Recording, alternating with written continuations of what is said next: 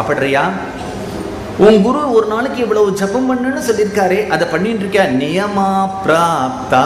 அதெல்லாம் நீ ஒழுங்கா பண்ணினா மனசுல ஒரு ஆனந்தம் வருமே. அந்த மனச சுகம் அது வந்துதான் உனக்கு?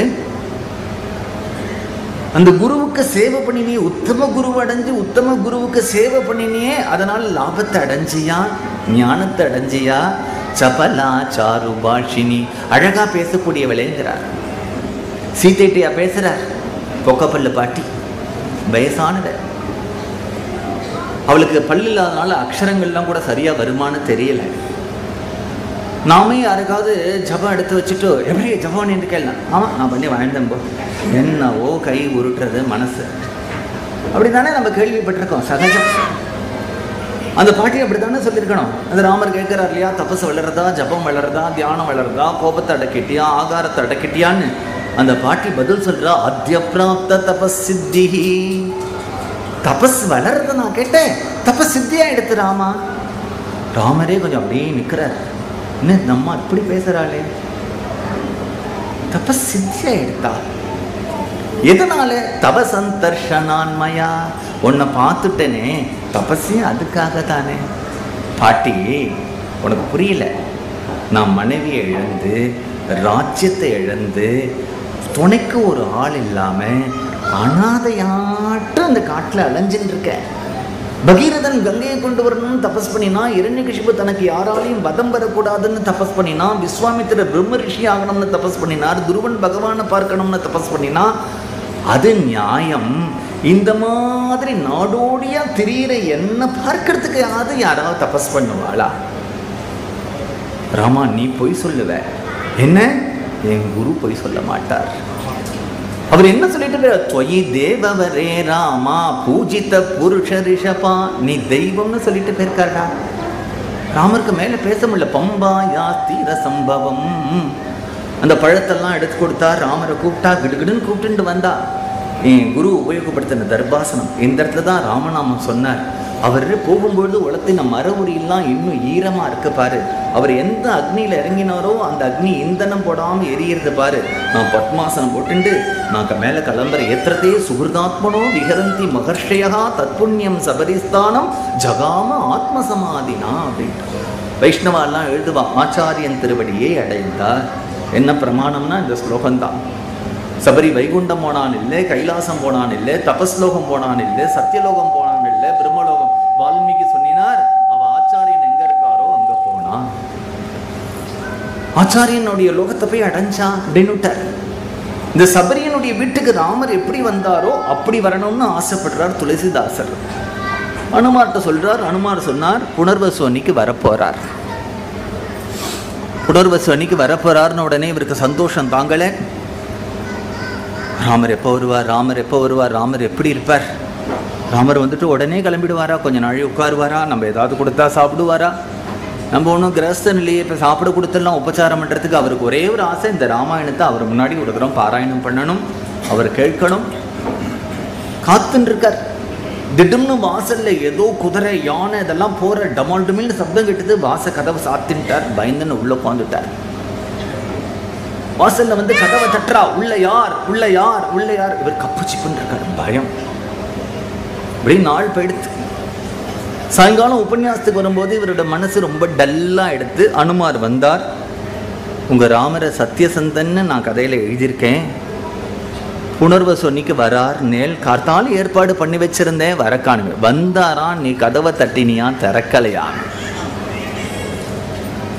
ஏ ராமருக்கு உள்ள கதவை திறந்துண்டு தான் வரணும். கதவை தட்டிண்டு தான் வரணுமா? அவருடைய திவ்ய சக்தினால் வர நீ அப்படி கேட்கலையே. நீ என்ன சொன்ன? சபரி வீட்டுக்கு எப்படி வந்தாரோ?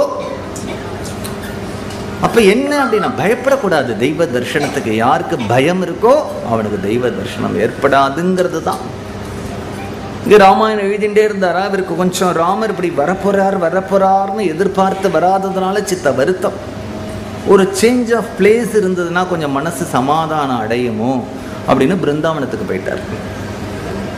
பிருந்தாவனம் போனால் பிருந்தாவனத்தில் யமுனக்கரை அங்கே பாங்கே விஹாரி கோவில் மதனமோகனன் கோவில் ராதாவல்லபனுடைய கோவில் ரங்கஜியுடைய கோவில் கோவிந்தஜியுடைய கோவில் எல்லாம் கிருஷ்ணன்.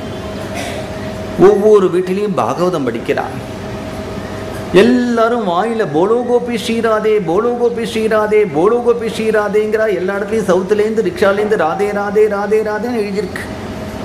இவர் திரு தெரியாதனமா இந்த இடத்துல வந்து திரு திரு முழிக்கிறார் இவர். எல்லா இடத்துலையும் ராதே ராதே எங்கே பார்த்தாலும் பாகவதம் எங்கே பார்த்தாலும் கிருஷ்ணர் கோவில் ஒரு ஆள் நமக்கு துணைக்கு ராமான்னு சொல்கிறதுக்கு இல்லையே. சியாராம்னு ஒருத்தர் சொல்லக்கூடாதா? இப்படி பார்த்தார். யார் சொல்லாட்டா என்ன? என் பக்தியை நான் மாற்றிக்க முடியுமா? அப்படின்னு என்ன பண்ணினார்னா வம்சி வட்டம்னு ஒரு வட்டம். அந்த இடத்துல தான் பகவான் குழல் ஊதுவான். அதுக்கு பக்கத்தில் ஒரு இடத்த எடுத்துட்டார் டி ராமாயண புக்கை பிரிச்சுண்டார் ஸ்ரத்தையா நித்திய பாராயணமா? தபஸ்வாத்தியாய நிரதம் தபஸ்வி பாக்விதாம்பரம் நாரதம் பரிப்பப்ரச்ச வால்மீகி முனிபுங்கவம்.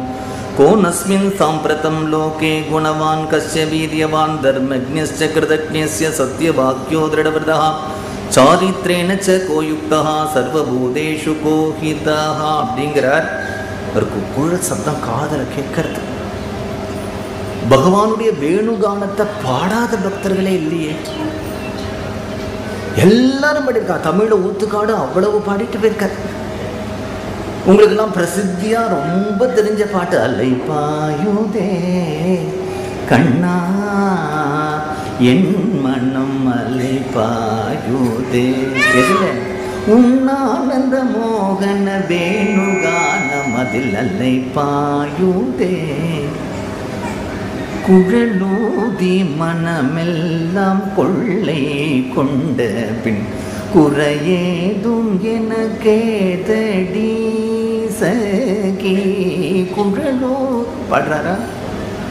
பிரம்மேந்திராள் பிரம்மனிஷ்டர் காயதி வனமாலே மதுரம் गायति वनमाली पुष्पसुकन्त सुमलय समीरे मुनिजन सेवित यमुना तीरे गायति வனமால் பிரம்மேந்திரா மீரா அந்த உத்தர தேசத்தில் இருக்கிற அத்தனை கிருஷ்ண பக்தாலும் பாடி தள்ளியிருக்கா கிருஷ்ண குழலூத்தரத்தை ஹிந்தியில் அவ்வளவு சாகித்யங்கள் சூர்தாஸ் பாடியிருக்கா மீனா பாடியிருக்கா ஹரிதாஸ் பாடியிருக்கார் சனாதனர் பாடியிருக்கார் ரூபர் பாடியிருக்கார் அவ்வளவு பாடிதல் இருக்கா குழல் இல்லாமல் கிருஷ்ணனை ரசிக்கவே முடியாது இவரும் அப்படி ராமாயணத்தை பாராயணம் பண்ண ஆரம்பிச்சா இவர் காதல் அந்த குழல் ஓசை வந்து மயக்கிறது